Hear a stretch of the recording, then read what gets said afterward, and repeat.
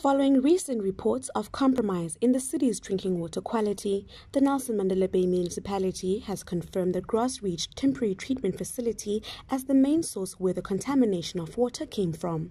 During a press briefing today, Acting Executive Director for Infrastructure and Engineering, Mr. Joseph Tsatsire, provided an update on the city's water quality and the actions currently underway to mitigate the crisis. On Monday, the 21st of February, um, we picked up some of our water samples uh, were contaminated with E. coli, and we take um, a decision, you know, to announce this to to the consumers of the metro.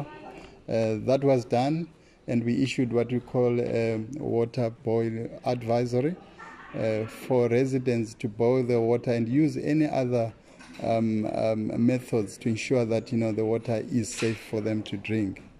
Um, what has all then happened is that we embarked on a troubleshooting process to identify exactly where the contamination was coming from, and we identified that you know the Grassridge uh, temporary treatment works was the source of contamination. Immediately we isolated that on Tuesday at the 22nd um, evening, and we then again, you know, um, increased the dosage of chlorine into our reticulation to kill all the other harmful bacteria that might be in the system.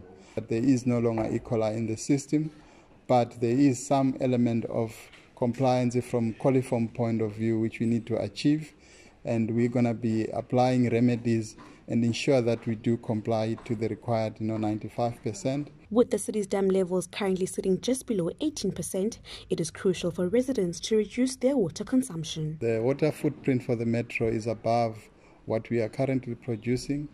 Um, we are consuming about 278 megaliters on a daily basis, and the available production is just under 230 megaliters on a daily basis.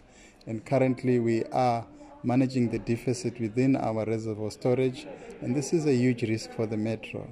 We are therefore encouraging you know, residents to reduce their consumption on a day-to-day basis and ensure that at least we can meet you know um, um, the the available um, um, thresholds or production that is available to the metro.